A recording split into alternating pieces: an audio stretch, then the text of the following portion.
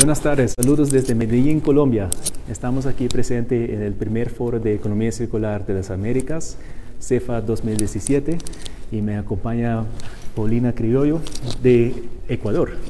Y le voy a preguntar que le elabore un poco por qué está um, inspirado por el tema de economía circular, qué tipo de trabajo hace, y también uh, preguntar la segunda pregunta que es, ¿qué oportunidades existen qué, opinas que hay en la región para la aplicación de los principios de la economía circular.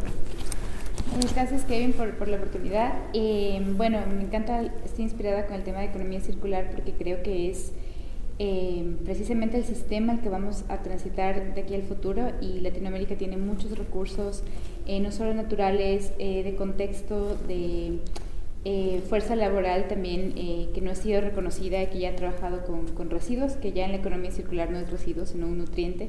Y creo que tenemos muchas oportunidades. Em, una de ellas es, como lo que comentaba antes, entender el contexto latinoamericano, em, entender qué flujo de energía, de materiales están ocurriendo en, nuestros, en nuestras economías y cómo podemos potencializarlos eh, para que nosotros mismos, sin traer otros recursos de, de fuera, eh, podamos crear empleo para las personas, podamos tener una vida más, más próspera, como lo que hemos hablado en estos últimos días.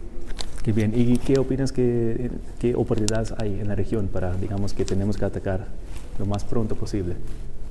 Eh, bueno, principalmente está la, la, gestión de residuos en las ciudades. Eh, es un problema bastante fuerte en mi país y en Latinoamérica en general, así que creo que lo más importante es, es elaborar cómo vamos a hacer esa transición y no descuidar nunca el recurso humano que tenemos en Latinoamérica. Entonces, si es que podemos poner esas, esas, dos variables dentro del contexto de la economía circular, creo que podemos presentar una solución bastante viable. Pues muchas gracias, Paulina. Y ah, aprovechando de una vez de invitarte a CEFA 2018, que va a ser llevar a cabo en Santiago de Chile. Pues nos vemos el año entrante. Muchas gracias.